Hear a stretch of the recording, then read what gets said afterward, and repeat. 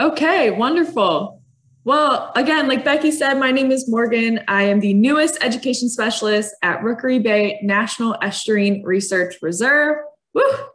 Um, my contact info is at the bottom here if anyone has any questions following this program. Uh, but going through, uh, I noticed we have a chat box. Uh, so if you have questions that you want answered at the end, just throw those in there uh, and we'll get those answered uh, when we finish up here. So I'm going to go ahead and just jump right in. Today, I'm going to present to you Discover Rookery Bay, which is just a really great presentation that we give on behalf of Rookery Bay to show kind of who we are, how we came to be, and some of the great work that we do on a daily basis. So uh, I'm just going to go ahead and jump right in. So the first part to that is the who we are uh, part of that. And so we are so lucky to be a part of the NOAA group, the National Oceanic Atmospheric Administration. That's our federal arm. So that allows us to be a part of this greater system of estuarine research reserves all across the continental US, including Alaska, Hawaii, and even Puerto Rico. So that's pretty cool. But by being affiliated with NOAA, there's been a certain level of standardization across these NERRs, we call them, the National Estuarine Research Reserves, that you see highlighted on this map in red. We, of course, all share in the passion and the mission of protecting, educating, and managing these crucial estuarine areas across the country. But we also share in the same four core programs uh, at each of the reserves. And of course, the work is going to look a little different given the environment uh, in Alaska versus maybe here. but it's still uh, a great feature to be a part of NOAA and share in that greater system nationwide. But if you are from Florida or in Florida right now, I want you to look a little closer. We are one of two states that has three national estuarine research reserves in our state one on the panhandle, one on the East Coast. And if you look at that red dot in southernmost Florida, that is us. That's Rookery Bay waving hello. But let's zoom in a little closer. So, when we're talking about who we are, yes, we have NOAA as our federal partner, but our state partner is the Florida Department of Environmental Protection. So, the DEP umbrella actually is pretty big. Uh, so, not only do they manage uh, the National Estuarine Research Reserve System, which we're a part of. They oversee the aquatic preserves, the Florida Keys National Marine Sanctuary, the Coral Reef Conservation Program, and a small preserve, St. Joseph Bay State Buffer Preserve. But all of those coastal areas uh, combined make up 4 million acres of protected coastal areas statewide. I mean, if that number isn't jarring, I don't know what is. Uh, so we're a part of this greater national network, but we're also a part of this wonderful statewide network of protected coastal areas. So that kind of is Rookery Bay's makeup. We have a federal part, we have a state part, and uh, sometimes that can get a little confusing if you don't go through it. All right, so like as like I promised, we're going to go through a little bit of how we came to be. Uh, Rookery Bay's origins is a true grassroots come up uh, Rookery Bay was just a body of water at one point that no one really knew about. But I'm going to go through just briefly how we went from just being that body of water all the way to being the National Estuarine Research Reserve that we are present day. So I'm going to take you on a trip through time. We're going back to 1960. Hurricane Donna hit Southwest Florida pretty hard that year. And in the aftermath of that storm, there was a lot of buzz and a lot of attention coming to this area. And I think a lot of folks realized that there's a real opportunity here, whether it was to build their dream vacation home, to start their very own business, or even just a vacation and enjoy this beautiful, pristine area that they saw going through the news. So, like Naples has always been, like Southwest Florida has always been, uh, growth is inevitable. And even in 1960, they saw this tremendous surge the population of Collier County during the 1960s actually doubled. So when I say there was a lot of buzz, there was a lot. All right. And so folks were flocking here, trying to make their American dream a reality uh, and taking advantage of this beautiful place in one way or another. But there was a group of developers that might have taken it a little too far. And that's the reference to the right of my screen here. This is a map of what had become to be known the road to nowhere. This was a, pro- a proposed development plan that a group of developers wanted to build going right through Rookery Bay. So I hope you all can see my cursor. This here is Rookery Bay proper, so the actual body of water in focus. And they wanted to build this road right from downtown Naples, oh, right through our beautiful barrier islands and our mangroves and out the other side. They want to do an island hopping highway, if you will. And man, did this put a thorn in the, the community side. A, a, large group of concerned citizens in Collier County organized, began to fundraise with the school children and other citizens, and they were actually able to form the Collier County Conservancy. So after working with government officials in uh, Audubon, Florida, actually, the National Audubon Society, excuse me, they were able to initially buy that first 4,000 acres to protect and save Rookery Bay. And I will tell you, it is just the greatest success story. And there was this one tale from when they went to this city council meeting where the judge said, Hey, uh, who wants this to who wants this road to be built? And obviously the developer said, Me, me, me. And then they said, Well, who opposes this project? And uh, the Collier County Conservancy folks rolled out a piece of receipt paper, basically a petition with all of these signatures from folks around the city and the county who didn't want this. And the receipt paper was as long as the aisleway. So I think that just spoke uh, to the conservation mindset that a lot of these citizens saw um, in Rookery Bay and saw the beauty of it far before uh, lots of others did. But actually, I have a video here that is a beautiful outline of the history of Rookery Bay and can explain it much more efficiently than I could. Hopefully it loads for us.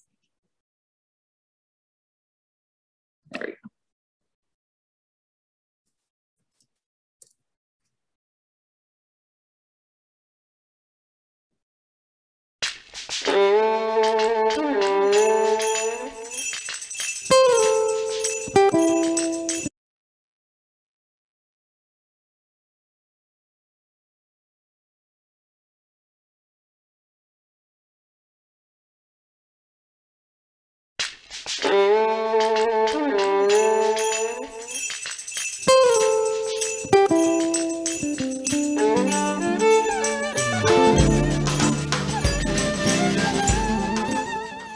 1960s, the Collier County Conservancy purchased over 2,500 acres of land surrounding Rookery Bay for conservation. The Conservancy turned this land over to the National Audubon Society to be turned into a nature preserve. It was a group of private citizens that ended up protecting it with a lot of partners, a lot of help. The Nature Conservancy, Audubon, a whole bunch of organizations came together to support the local people to protect Rookery Bay. Over a thousand residents and many local businesses and civic organizations donated to the Conservancy's campaign to save Rookery Bay. I mean, Audubon would not have had the money to go in had it not been for the fact that those people in Naples were willing to raise the money and make it work in terms of the land acquisition. And this was how Rookery Bay was saved. It became the nucleus uh, of Rookery Bay Sanctuary.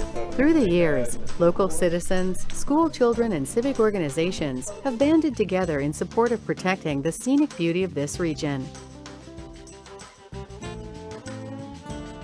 What was once an Audubon sanctuary that protected around 4,000 acres is today a national estuarine research reserve that spans 110,000 acres. And through the efforts of grassroots conservation, through the 60s and up through today, we're actually able to have this place set aside so it'll be there in perpetuity. So generations of families can actually enjoy these resources and also use them as well.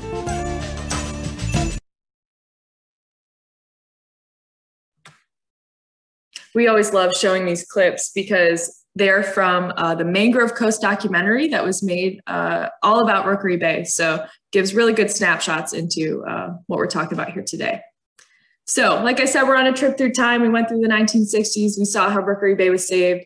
Now we're going into the 1970s, where we really started tr- to transition, and Rookery Bay started to gain some traction. So, um, if you're unfamiliar, the 1970s uh, were really the the catalyst uh, into the environmental era, and there was so much environmental awareness across the country. It was basically at an all time high, especially in Southwest Florida. So the Collier County Conservancy was still working with the National Audubon Society, managing Rookery Bay Sanctuary that you can see on this map. And what they began to do is acquire more land, acquire more area, more acreage. And it eventually became to a point where they thought we should we should really transition this uh, for better management. And uh, that is when they decided to transition uh, basically the lease of the land to the Florida Department of Natural Resources. And that particular event really was uh, lending itself to the transformation of Rookery Bay into what it is today as a National Estuarine Research Reserve. And if you all didn't see it on the video or hear it, uh, our acreage is very large uh, in this day and age compared to what that initial 4,000 acres was. And I want to show you our most recent map, if it will load for me. Let's see. All right, here it is. This is the final product. So we just went through this trip through time. This is present day Rookery Bay. These are our boundaries here outlined in yellow. We are over 110,000 acres. That star on the map that you're seeing is our Environmental Learning Center, uh, which is a great resource for a lot of visitors uh, coming into Southwest Florida to learn about us. But that has just been the, I think, the greatest success story uh, that I've ever heard about Rookery Bay because it really started from the people uh, recognizing how great of a place this was uh, to protect and conserve. And that's going to be where I transition into now is what is this place? I keep saying we're a National Estuarine Research Reserve, but for all of you who are wondering, what is an estuary? Well, that's what I'm here to tell you. Uh, so our main focus, our bread and butter at Rookery Bay is our estuary here. And an estuary is defined as a transitional zone where fresh freshwater from the land meets saltwater from the sea. So that's not always the case though, because I think if you saw that map of the whole nation uh, of estuarine research reserves, there are some on the Great Lakes. And I know Becky and I are like, what? A, an estuarine research reserve on Lake Erie? Are you kidding me? Well, it's because a more general definition of an estuary is a place where two chemically different bodies of water meet and mix to create something new. So it, we always want to say don't go directly to the salt and freshwater mixing, but that is pretty much uh, the general definition for estuaries across the globe. And we love to highlight that estuaries look various uh, and very different in different locations. So that far left picture is our mangrove forested estuary here in Southwest Florida. And we can see an estuary as a salt marsh in that middle photo and even a fjord in Alaska. So uh, they look completely different all across the nation, all across the world. But ours in Southwest Florida is indeed pretty special. And this is a, a better view of it. So if it's hard to imagine how this freshwater and saltwater would meet and mix, uh, this diagram on the bottom is showing the freshwater flowing through canals and tributaries across the land, meeting in this middle zone or transitional zone where the salt water is pushed and pulled with the tide and it mixes with the fresh water. And that combination of salt and fresh water is actually called brackish water. So that brackish water is key in our estuary because it allows for a lot of great things to happen. And so we always ask uh, if we were in person right now, I'd be polling the audience hey, why do you think estuaries are important?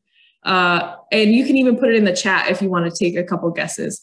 But we always just say estuaries are so important for many reasons. Uh, but the first one that always comes to mind is that they are nurseries.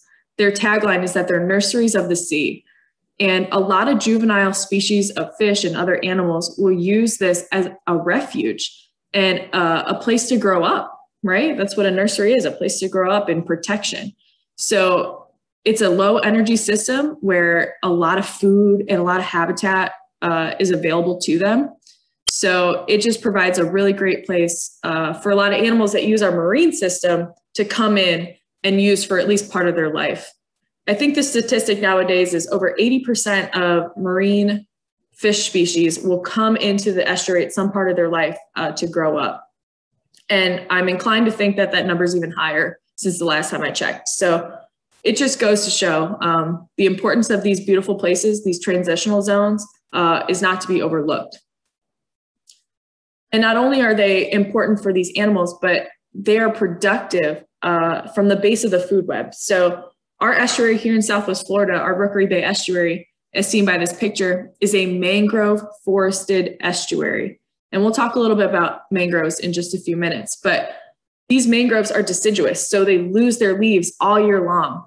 And by doing so, they decompose and create this mud layer, this layer of organic matter and nutrients that explodes the food web. It allows for these, these producers and consumers to really come in and uh, establish these complex networks uh, and predatory relationships. And it's just, it's amazing to see just how productive our estuary is and nutrient dense, uh, we like to call because that brown water, it is not dirty, but it is nutrient dense.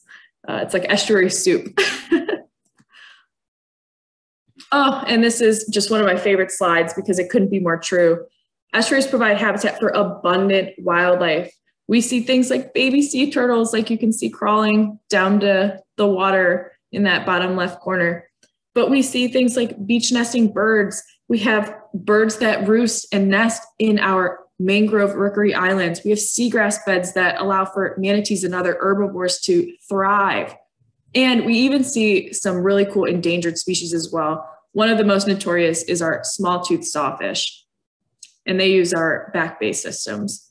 But I just, I love to highlight the screen, even just for a minute, for you all to just get a really good look at what Rookery Bay can sustain, what animals can use it, whether it's just for a part of their life, whether it's year round, uh, and how much habitat there really is to be had.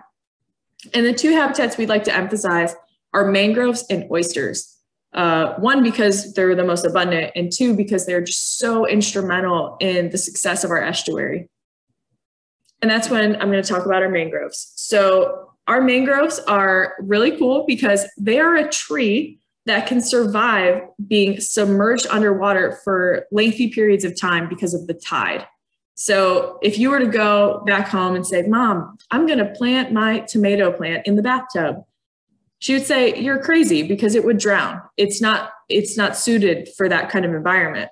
Well, these mangrove trees can handle inundation and being flooded at the root system.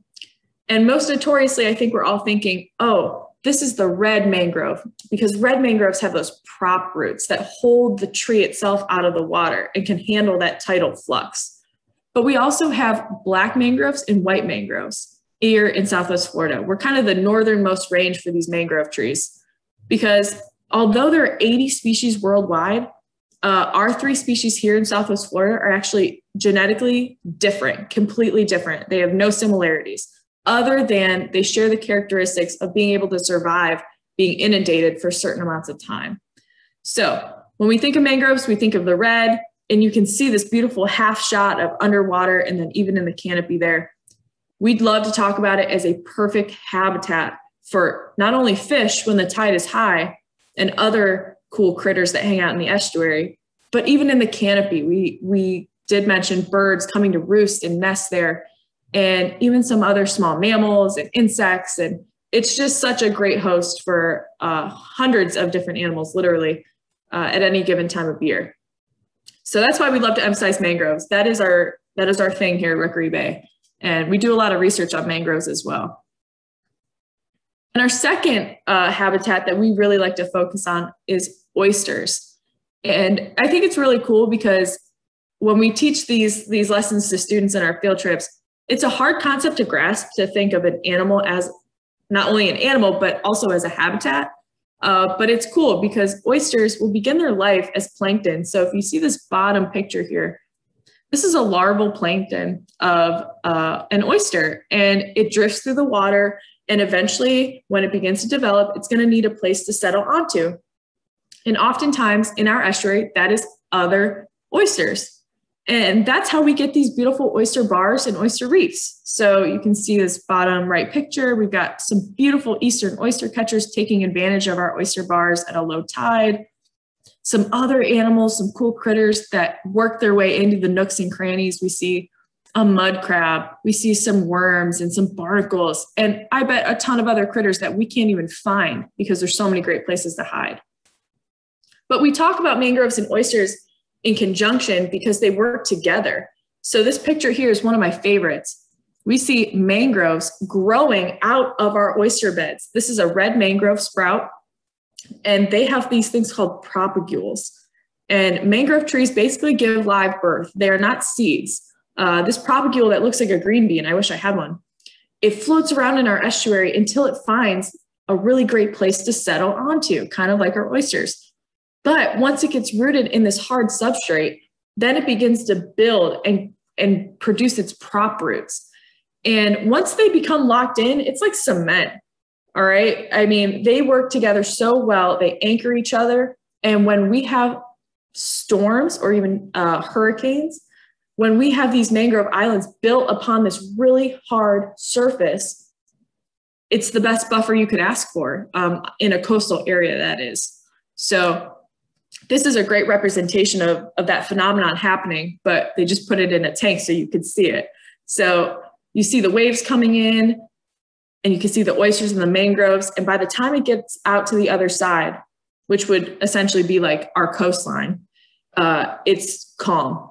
There's no disturbance, and it would really protect a lot, a lot of things and people. Um, and we always say an estuary without oysters and mangroves would be uh, a sad one, but that's just because that's what we focus on so heavily here at Rookery Bay.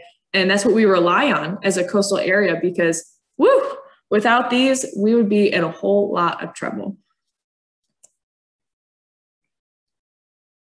Now, flipping the switch a little bit, we just talked a little bit about the habitats and some of the animals that use them. Well, you're seeing a great example uh, of why this should be a protected area, not only because of the natural beauty and the persistence of a lot of species, but it's important for us as well. The marine economy is so crucial here in Florida uh, for both the fishing and seafood industry as well as recreation. So, all those times you want to go out on a fishing charter or go out and try to drop a line with your grandson, well, if we don't protect these estuaries, there might not be fish to catch uh, or crabs to harvest.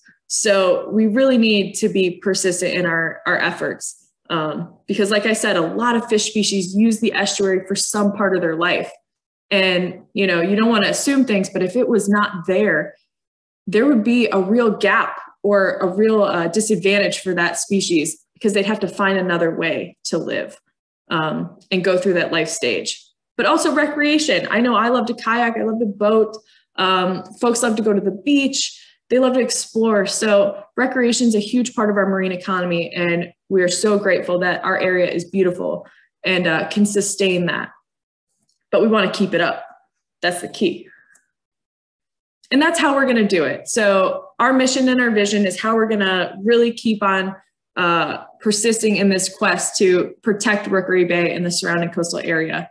And our mission is to serve Southwest Florida as a trusted resource for science based information to foster connected human and ecological communities. So we want people to connect with this place. That's our, our kind of tagline. We say Rookery Bay is yours to explore because we want you to get in and explore it for yourself and appreciate it.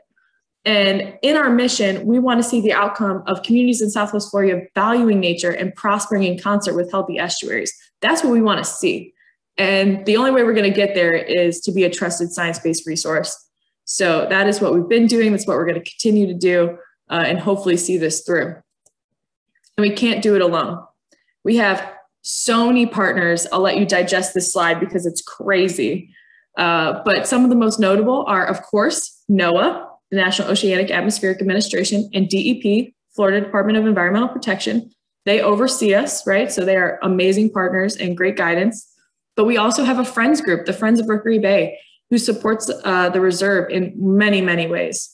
As well as some universities, we see Florida Fish and Wildlife, even Red Bull. Some of these might be surprising to you, uh, but we do have a lot of partners spanning far and wide. And even FIU, uh, if you're unfamiliar, Florida International University over in Miami, uh, financially supports the salaries of about a third of our staff. So they're a phenomenal partner and have really opened the door uh, for further conservation of this area. But I want to take you back to talk about the Friends Group. So our Friends of Rookery Bay is our 501c3 nonprofit, and they support the reserve not only in outreach, but advocacy, fundraising, and volunteerism. And they have their own mission, which basically is to be the backbone of the reserve. They want to support us by connecting people to Southwest Florida's coastal environment. And they can do that in a variety of ways. They advocate for us on a government level. So they are our voice. They can lobby for us and really get with the stakeholders to, to make the right decisions and connect them with our coastal environment. They have partnered with our exclusive eco tour provider, Rising Tide Explorers, to provide boat and kayak tours in our estuary. And I will tell you all, if you haven't been on a tour yet, you're missing out. Uh, if you go to our website, rookerybay.org, you can book a tour and they are phenomenal. Uh, all biologist led. Most of them have their masters in some sort of conservation area, and it is just a blast. Uh, they really know how to make it a great family fun experience. Arts in the environment, man, the Friends of Rookery Bay in a regular year uh, would host art shows and art gallery showings uh, that connected people to this area in just a different way. So, yes, if a boat tour is not your thing and you're into art, well, we've got that for you too. And the Friends have done a great job of highlighting that. And their staff is just so helpful. Uh, that's what they're there for. They're, they're our customer service representatives. They do outreach with us. They volunteer. Uh, they are just all across the board in support of Rookery Bay, and we couldn't do it without them. And of course, uh, our communication and our website is all through our friends group. And that's how we communicate with all of you uh, and the public. So without that and our e newsletter, uh, we might not be getting the word out as great as we could. So the friends group really does uh, give the, the structure and support uh, to the reserve that we need. Because gosh, we know budgets are tight. So uh, the Friends group really does a great job in helping us along.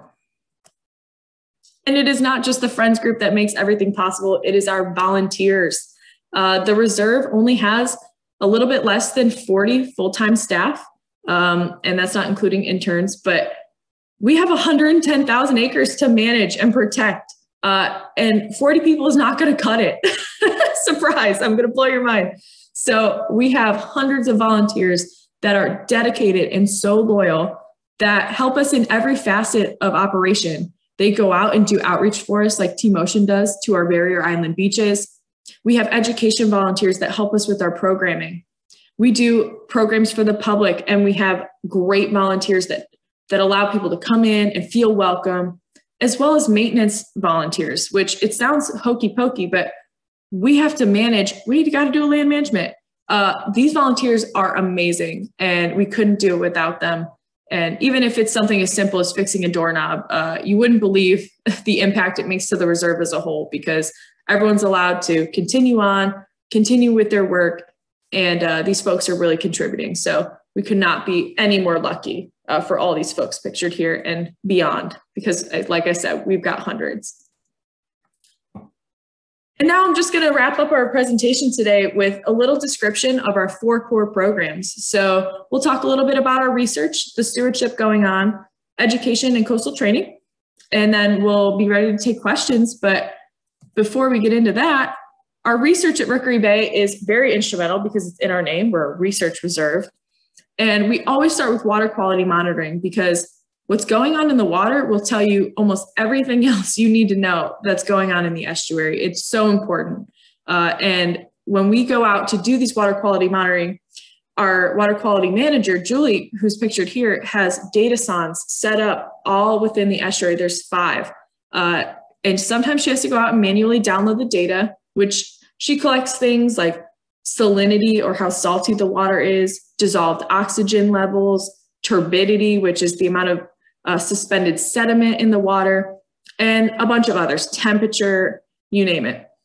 And when we collect that data, we upload it and we're able to share it. So if there was ever a time where there was an event, let's say a hurricane, and we said, wow, what were the conditions before, during, or after that hurricane? We can go back to our data loggers and find that information. And when the aftermath comes along, we can say, wow, the dissolved oxygen level is so low. That's why we weren't seeing this species or that species. Or it gives a lot of reason to things that are happening in the estuary is in the water quality monitoring. And it direct, directly affects some of our other research which is our fisheries monitoring. And our fisheries biologist pictured below it, he studies uh, juvenile fish populations in the 10,000 islands uh, including everything from small bay fish uh, all the way up to juvenile sharks because yes sharks are fish And he's looking at the hydrologic changes in our estuary and how that affects the different species. So, like I said, if there was a parameter, and in this case it's fresh water, if there's too much of it, what species can handle it? What species don't like it? Who's going to be present? Who's going to be absent? Uh, it's a really great monitoring effort that's been going on for just about 20 years. Um, so he has been persistent in his quest to uh, collect this data. We also do a great deal of avian monitoring. So Rookery Bay got its name for uh, all of the birds that hang out here. Uh, a rookery is a place where birds can gather, uh, or animals more generally, but in our case, it's birds. So we are lucky enough to have an avian ecologist on staff full time doing our monitoring. And again, we use volunteers oftentimes because there's so many birds to be looked at and counted.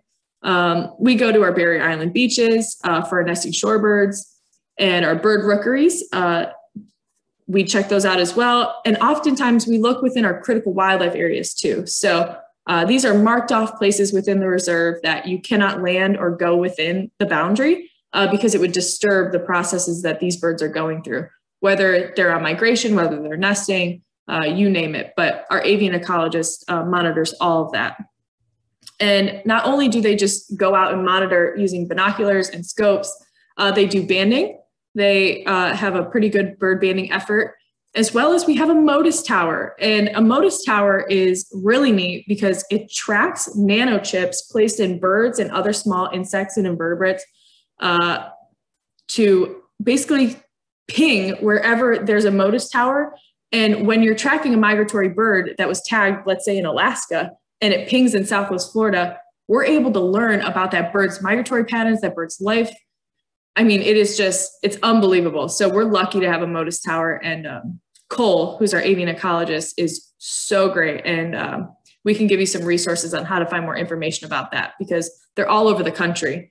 And uh, we really are learning a whole lot about birds through this process. We also have a GIS specialist on our research team. And basically, our GIS specialist does everything. she wears many hats, uh, but she uses her mapping uh, to assist almost every other research group at the reserve. So she uses it to help for stewardship and prescribed fires. And then in this case that we're showing you is our sea turtle monitoring program. So she is able to map out very precisely uh, first of all, the landscape of what the beach looks like that year, but then also plotting the points of where the nests are, where the false crawls are, and make this data accessible to the public uh, through our website. So the bottom here is a screenshot of our website last summer uh, using the data that our GIS specialist has been able to input and then produce. So uh, I think she is just so instrumental in our success, and we could not keep such good eyes on the reserve without her drone skills either. So we're grateful to have her around. All right, so to wrap up research, we call ourselves a living laboratory and we invite researchers from all over the world to come and do their research within the reserve boundaries. Uh, they would be hosted, they could stay at our dorms, but our collaborative research efforts are extensive. And it is just so cool to meet these researchers from all over and hear about their experience and why they're doing their research in such a unique place uh, as Rookery Bay. So we really love uh, collaborating with those folks. And we also do mentor, intern mentoring programs, which uh, the most notorious is our sea turtle intern. And they get skills from boat driving to GIS inputting, uh, data processing, all of the good stuff. So research here at Rookery Bay is uh, it's pretty robust, and we've got some great programs going. Flipping over to our second core program of stewardship, uh, this picture is always so cool. I love using it.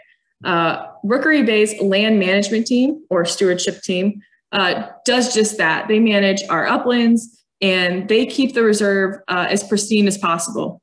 So the first thing that they do that's so utterly important is prescribed fire management. And for some folks who aren't familiar with prescribed fire, you would think, well, why would we start a fire if we don't want a wildfire? but really there's some sense to it there's a science to it and if you let too much debris accumulate in these hammock areas then it is more likely to ignite in an in a natural way and cause more damage uh, but these these coastal communities have burn cycles. So they're resilient and they're accustomed to burning every couple of years, usually two to five. And uh, it's one of those things where our team will go out and they'll assess these different plots and they'll set the burn and they'll have a prescription that is very, very detailed and specific based on weather and wind.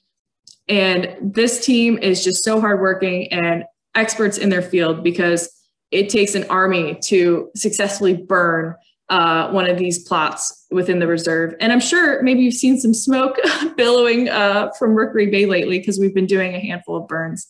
Um, but this is one of probably the coolest things that our stewardship team does. And it is really important uh, not only to get these coastal communities in their burn cycles, but it's in order to control and protect uh, native biodiversity. So a lot of these native plants are accustomed and resilient to burning.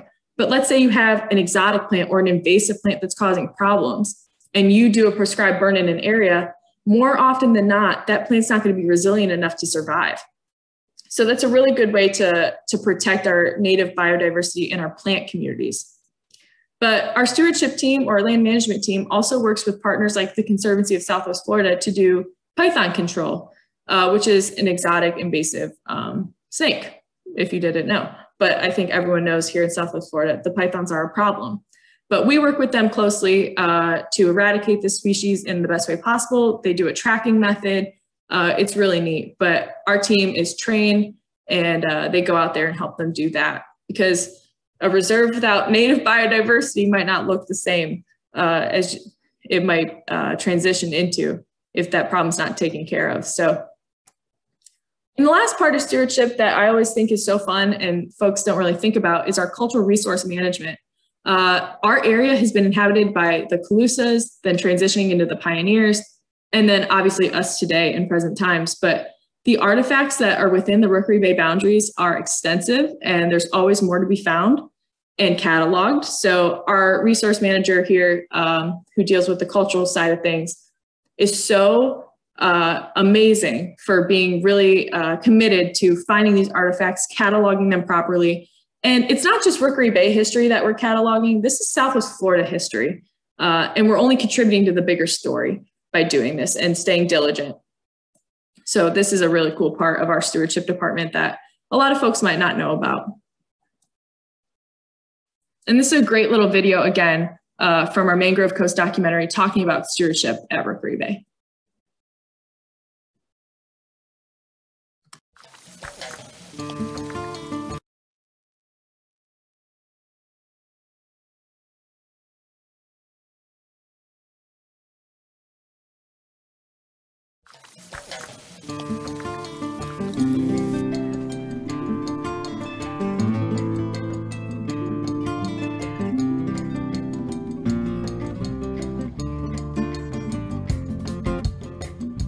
The stewardship sector at Rookery Bay has a critical role in translating science to management. So you're doing the science related things and then you're doing those kind of just down in the dirt kinds of things. Invasive species control, prescribed fire, and restoration are ways that resource managers work to protect habitat and sustain native biodiversity. Rookery Bay Stewardship Team partners with other organizations to help remove invasive species. The Rookery Bay Stewardship Sector also works to remove invasive plants so native species can flourish. Likewise, when we do exotic plant control, what we're doing is we're really trying to restore the ecosystem. Prescribed fire is one way to control invasive plants, but it has many other benefits. Many native plants are dependent on fire. And what the stewardship team does is they try to mimic natural patterns in Florida ecosystems. Another way Rookery Bay works to foster a healthy ecosystem is through hydrologic restoration.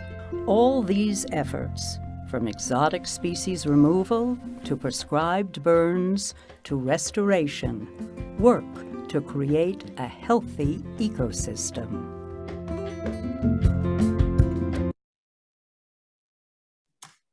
It sure does. Uh, and we always love to add that clip because it summarizes it so beautifully. Um, All right, now we're on to our third core program, which is our coastal training program. And the simplest way to put this uh, is that the coastal training program bridges the gap between scientists and professionals who make management decisions. And the way I think of it uh, in my own head is they're educators for a professional audience uh, and stakeholders. So they train government professionals, they do webinars and workshops, they facilitate collaboration processes between businesses and the government, and they educate policymakers uh, on issues and topics that might be relevant to them in their decision making. And again, I've got a perfect video here uh, to describe it for you all. And it gives uh, a good insight to some of the programs that they offer in a good a good typical year. Um, so let's see if this will go for us.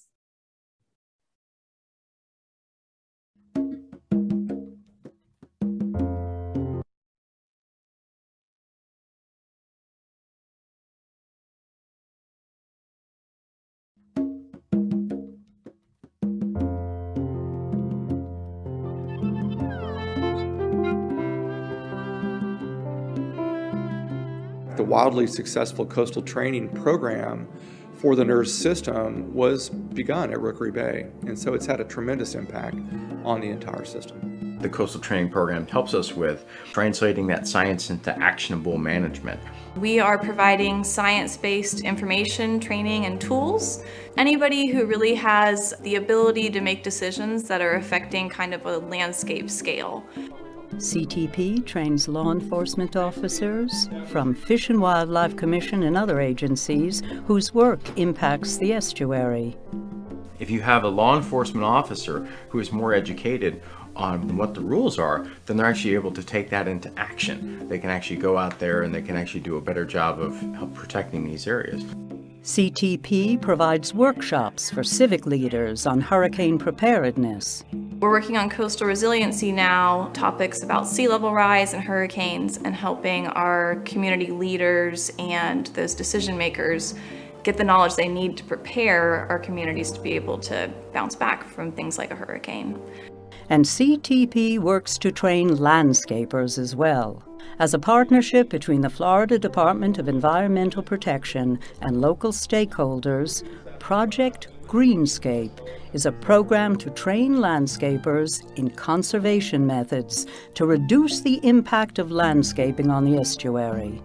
What we want to do is educate those landscapers so that they're putting out the right amounts of fertilizer at the right time of year so the fertilizer stays in their lawns, not running off into our watershed, into our ecosystem.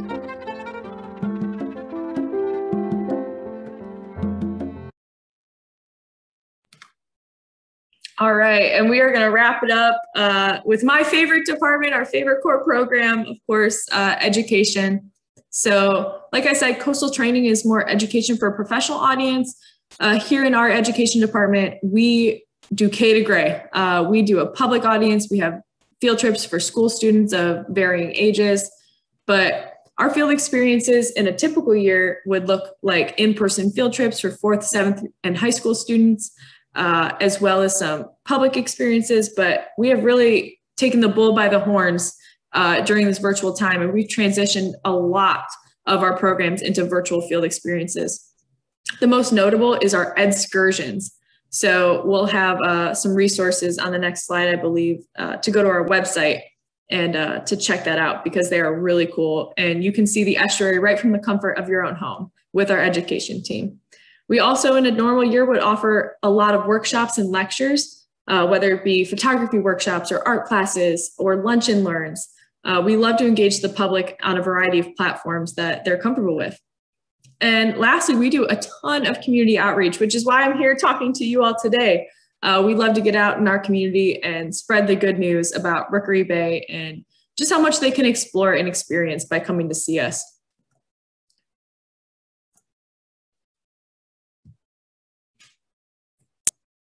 Which uh, if the students were able to come this year to Rookery Bay, they would, of course, have had a great experience, but we've really pivoted. And I just put this slide in here because I want to highlight the success of our virtual field trip programs. We reached over 2,300 students, uh, which is more than double that we normally do in a given year uh, across all of our programs. And that was just done with our survivors program, which is our seventh grade program, and our fourth grade program, Estuary Explorers. So we took uh, all the resources we could, we learned a lot, and we were able to reach students virtually that even in a normal year could never come see us uh, just because of distance and restrictions. So we were just so proud of this, and I had to throw it in there because, yes, that is our team on the cover of Naples Daily News. but it is it just speaks to the um, the level of adaptability that we've uh, overcome in this time. And of course, if this presentation was so uh, exciting to you and you are just dying to come see us at Rookery Bay, I'm so sorry. Uh, our Environmental Learning Center is currently closed to the public, but that does not mean you cannot book a boat or kayak tour into our estuary. Uh, and you can do that by going to rookerybay.org. I highly recommend it. There's just no better way to experience it. Um, if you can't go to our learning center, this is the second best, uh, getting out in the estuary and getting your feet wet for yourself. And some upcoming events and programs, like I said, boat and kayak tours, always a great, great way to go about it. If you're a birder, check out our virtual binoculars. It's a virtual birding lecture with our specialists. Our excursions, our live field trips, uh, streamed to you virtually from your home. And then we're even doing a family camp out, nice socially distanced in the green space of our parking lot. So all of these and all the registration can be found on our website, rookerybay.org. And I just love to end it with uh, saying that Rookery Bay is yours to explore. And we hope that just by this presentation, you can uh, appreciate where you're from or where you visit a little bit more, learn a little bit, and get out there to see it and appreciate it for yourself. So uh, I'm going to end with this. I thank you all for having me, and I can take some questions. I believe we've got a couple minutes. So uh, I'm ready when you all are. Well, thank you uh, so much for having me, and thank you everybody for watching. Um, it was great to interact with you all this morning.